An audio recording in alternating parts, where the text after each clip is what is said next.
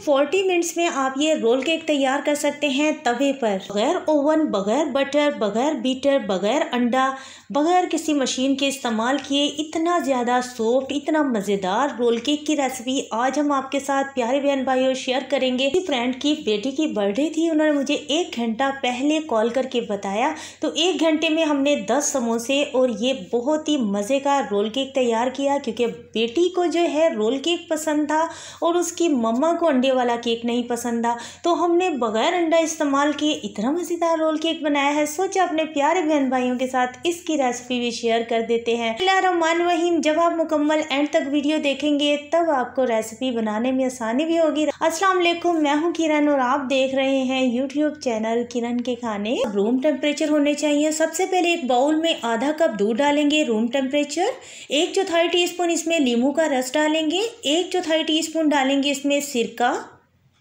यहाँ पर हम इस टीस्पून का इस्तेमाल कर रहे हैं। वैसे आपने एक चौथाई टीस्पून का ही इस्तेमाल करना है। एक चौथाई टीस्पून इसमें हम डालेंगे चॉकलेट एसेंस या फिर वनीला एसेंस यहाँ पर हमने घी लिया है।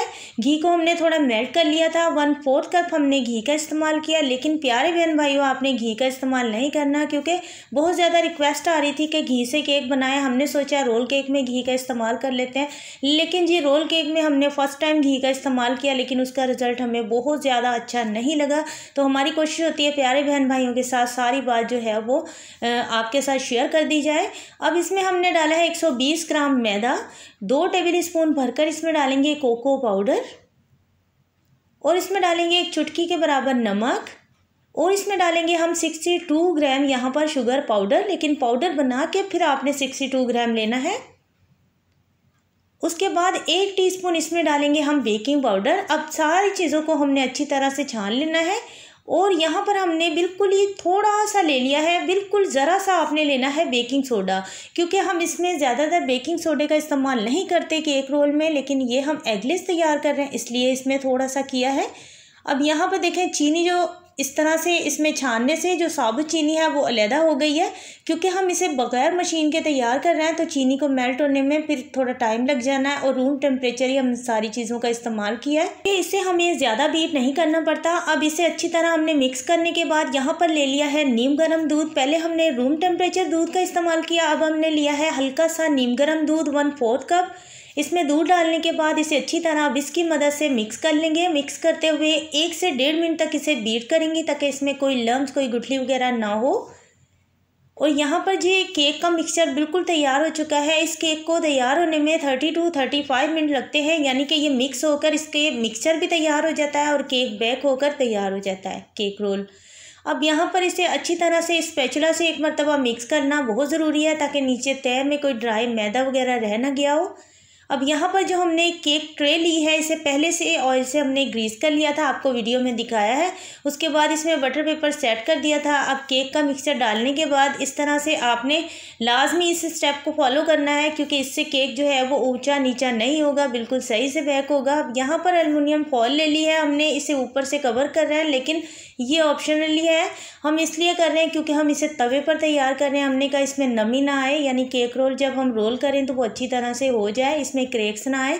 तो इसलिए ऊपर से हमने इसे कवर कर दिया है। उसके बाद भी हमने तवे को जो है मीडियम फ्लेम पर पहले गर्म होने के लिए दस मिनट पहले रख दिया था। जब वो तेज़ गर्म हो जाए, फिर आपने लो फ्लेम ही रखना है। जैसे दम वाली आँच होती है, उतनी रखनी है, उससे ज़्यादा नहीं रखनी। ऊपर से डूँगा सा हमने एक बर्तन दे दिया था ताकि साइडों से इसकी स्टीम ना निकले। उसके बाद तकरीबन यहाँ पर हम ट्वेंटी फाइव मिनट्स के बाद इसे चेक कर रहे हैं। माशाल्लाह से रोल केक, जो केक बेक हुआ है, उसकी वजह से पूरा घर खुशबू से महक रहा था। तो माशाल्लाह से हमें अंदाज़ा हो गया कि केक जो है वो तैयार हो चुका है। तो इसे फ़ौरन से हमने उतार कर और बटर पेपर के ऊपर ट्रांसफ़र कर देना है। यानी कि इससे जो हमने गरम गरम को रोल तैयार करना है, ताकि ये अपनी सेटिंग में आ जाए, इसका रोल आसानी से बन सके। अच्छा इसका रोल बनाकर हमने सिर्फ़ पाँच मिनट के लिए रूम में रख दिया था और साथ ही हमने जो है वो विप विपिंग क्रीम तैयार कर ली। किसी भी अच्छे ब्रांड की आपने विपिंग क्रीम ले लेनी है, हमने बिल्कुल सिंपल सी क्रीम का इस्तेमाल किया है, जो हर केक्स में यानी वनीला केक में भी हम इस्तेमाल करते हैं और उसके अलावा पाइन केक में भी। अब केक रोल को हमने खोला है, इसमें बहुत सारे क्रैक्स हैं, क्योंकि हमने इसे बगैर अंडे के तैयार किया है। केक रोल को वैसे भी अगर हम वन एग के साथ भी केक रोल तैयार करें तो उसमें क्रैक्स आते हैं, लेकिन अगर हम दो या तीन अंडों के साथ केक रोल तैयार करें तो उसमें क्रैक्स नहीं आते।